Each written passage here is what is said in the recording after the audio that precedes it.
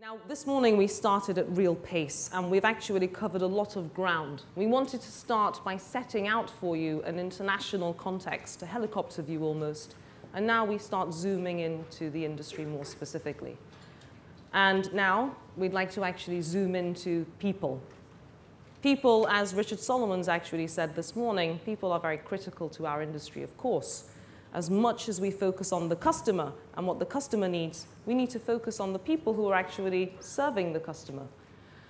Now, you know of Domino's pizzas, I'm sure. I'm sure you've seen mopeds delivering pizzas everywhere. But what you may be less familiar with is the fantastic work that the Domino's Pizza Group are doing with their people, mobilizing them literally for success.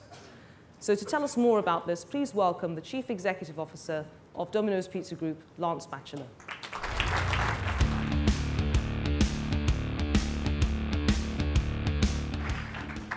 Uh, ladies and gentlemen, welcome back. Uh, now we get on to the really important stuff. You've heard all about global macroeconomic trends, you've heard about Chinese tourism, you've heard about infrastructure development. All of this pales into insignificance with the two things that I'm going to talk to you about now. If my slides come up, here they are. Um, the first thing I'm going to talk to you about is great pizza, which I know keeps the engine turning.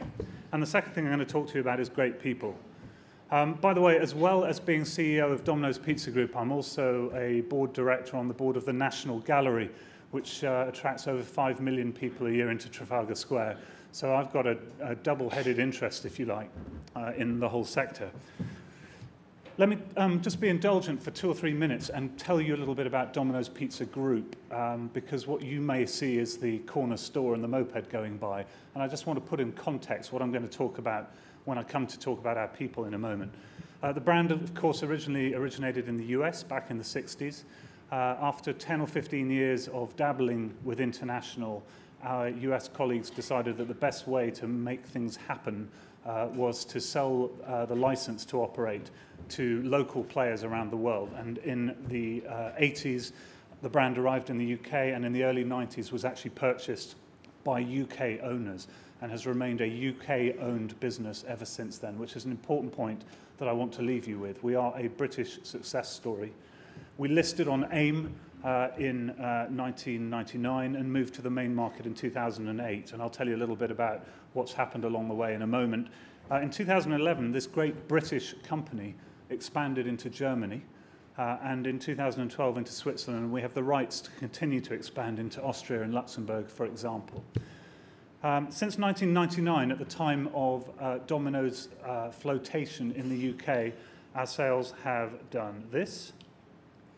Uh, and if you can't see the numbers from where you're sitting, at the time of flotation, we were doing about 60 million of turnover in the UK. Uh, last year, we posted about 600 million. Uh, so that's a 10x uh, multiplier uh, in that period.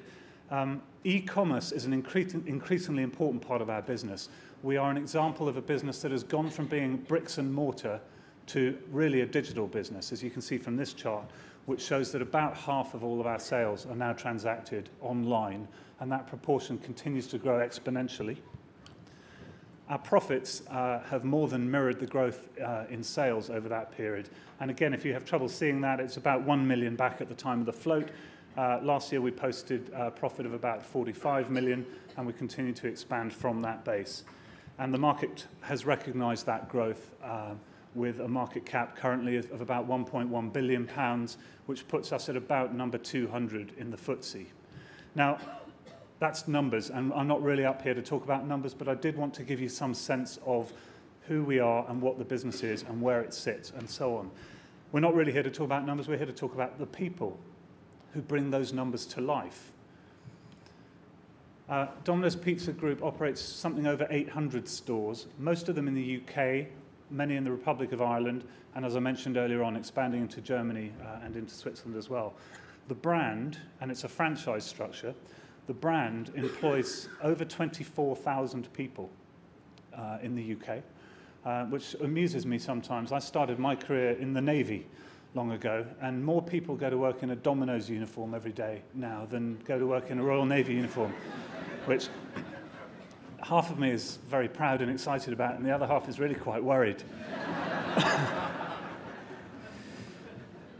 We have about 120 franchisees in the UK um, who run all of our stores for us. We work very, very closely with them. Um, we provide the training, which I'm going to pick up on in a little bit in a minute. Uh, we provide the systems, the processes, the software, almost all of their raw materials, uh, and it's very, very much a partnership. It is not a top-down structure at all. Some of those franchisees, as you will hear, have built really quite substantial businesses in their own right. Um, and uh, th they have become employers of great importance in their own right as well. And a point that's been made by a number of speakers earlier on this morning is the importance of regional development.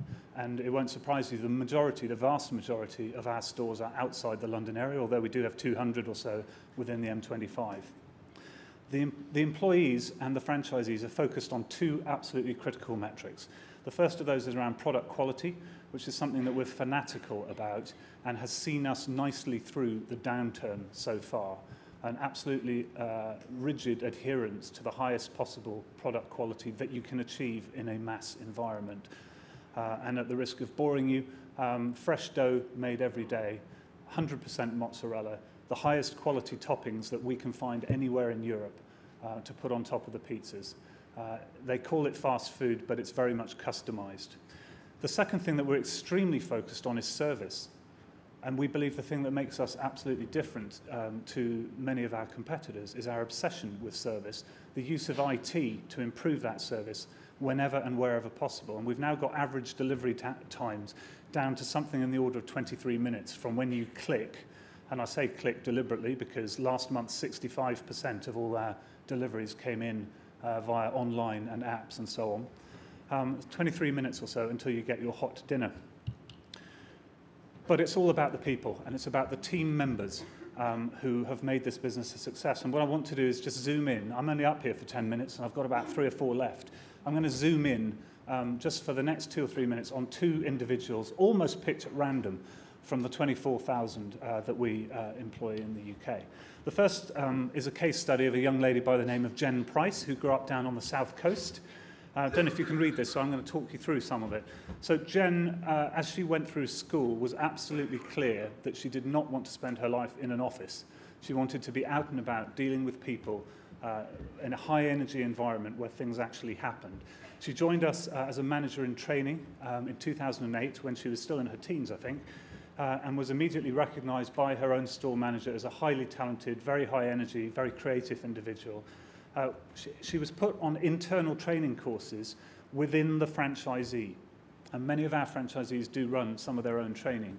Uh, and then when she continued to excel, they sent her to us at Domino's Pizza Group to go on some of our corporate level training courses, which start at the absolute basics of hospitality, greeting consumers, keeping the store clean, move on to cooking and delivery and the software and the systems that back all of that up. And she stepped her way up through assistant manager training and manager training. She was promoted to store manager very early. Typically, it takes two to three years minimum before an individual will be tapped up for a store manager role. But this young lady uh, was promoted within 18 months to manager. She was then recognized uh, across the UK as the so-called Rookie Manager of the Year and won that award, which we were delighted uh, to uh, hand to her in front of a thousand of her peers. She was then picked up as International Manager, uh, Rookie Manager of the Year, um, versus every other country in the world. And it's just worth mentioning in passing, because I can't resist it, that of the 20 top stores in the world by sales, 18 are in the UK and Ireland. It is a seriously world-class business in the UK that you should be proud of. Um, Jen continued to, uh, to excel, and when she moved out of the new trainee rookie stage of her career, she became a manager in her own right. And in fact, a year later was picked up as manager of the year in the UK as well. Fantastic. I'm delighted that two years later, Jen uh, continues to progress her career with us. She's now an area supervisor, which means that she's running six stores, I think, down on the south coast. Those six stores employ about 250 people, and she is in her own turn responsible for their training, development, recruitment, and so on.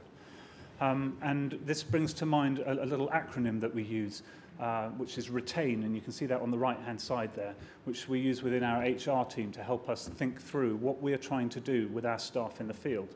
The R stands for recognise. Absolutely crucial as far as we're concerned to recognise the employees who show the right behaviours, who show the commitment and the enthusiasm. Then to encourage them to grow. And this is a point that's been touched on once or twice, and I really want to hammer it home. When we hire someone to deliver pizza, just like when you, you hire someone to flip burgers or to stand on the door in, in the hotel or whatever it might be, we're bringing them into a potentially extremely exciting career path. And we encourage them in every possible way to work their way up that, that career path. We provide the opportunities and the training to help people move on.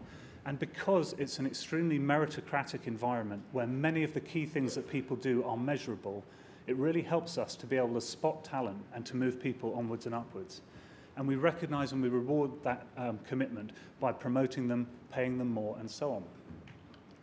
Here's my second case study, a young man called James Swift, who operates down the M4 corridor. Uh, and you'll see him sitting there on a scooter, but with a Ferrari in the background. And uh, the, the story here is quite wonderful, which is that James kind of dropped out of school round about GCSE stage a few years back. Uh, his parents were absolutely devastated when he did so. Um, and uh, his mother was absolutely desperate that he hadn't stayed on to do his A levels and remained desperate for about three years until he drove up in his first Ferrari uh, that he had earned uh, through his career progression um, within a Domino's franchise. Let's just talk about the story of James for a minute. He joined us as a delivery driver, age 16, delivering pizza on a scooter. Um, he also demonstrated very high levels of passion, leadership, and innovation. Um, the franchisee that he worked for was so impressed that that franchisee decided to fast track him and give him leadership opportunity, uh, opportunities very early on and he found himself running a store in the Bath area within a couple of years of having started. Um, he was encouraged, he was actually lent money by his fellow franchisee um, so that he could buy his own first store, and he got up and running. And within a few years, he, uh, in partnership with another guy, had actually built up an estate of nine stores uh, in the, uh, on the M4 corridor, as I say. By the way, nine of the most successful stores in the UK, with very high turnover, sales, and growth. Uh, he, uh, in his own turn, employs um, many hundreds of employees himself. He's an inspiration to them. This guy is still in his late 20s, uh, and they can look at him and see what he's achieved. He races cars as a hobby, uh, and uh, hopefully not as a hobby. He's also come with us into Germany, where he's just about to open his second store. Uh, the first store that James operates in Germany is the record-setting store in Germany with the highest sales levels uh, of any of our new stores in the German business. And in Germany, he's hired 28 people so far. So he's creating employment again in a new environment. Um, the comment I put on the right, if you can't read, as a 16-year-old, you are not really sure where you want to go. Domino's helped me uh, with direction and inspiration. The entrepreneurial nature of the company has meant that the limit of what you can achieve is yours to decide. And that I see a lot of heads nodding around the room because that applies to so many businesses in this room. That's a zoom in just on a couple of our people. Um, they, they live the values that we stand for and that so many of you stand for as well. We're extremely proud of them. We don't think that what we create is a humble career at all. Uh, we've got a large number of our 100 franchisees who started out as drivers. Many of them are multimillionaires. Many of them employ thousands and thousands of people, and they pay a lot of tax. Um, tax has become a bit of a hot button Um, we believe uh, that uh, if you take the tax that DPG, Domino's Pizza Group, pays at the centre, and all the tax paid by our franchisees, and of course the VAT and the national insurance and all the rest of it, that we're contributing over 100 million in tax to the Exchequer each year. And that number continues to grow steadily uh, as our system grows, and you saw the growth curves earlier on. And in that context, uh, I guess I'm slightly disappointed um, when so many of us in this room contribute so much in terms of employment, employment growth and tax payments, not to see government representation in the room throughout the day um, that reflects the importance of the industry we all run. Uh, thank you very much for hosting us here today. It's a fantastic day and uh, I look forward very much to seeing you all at lunch.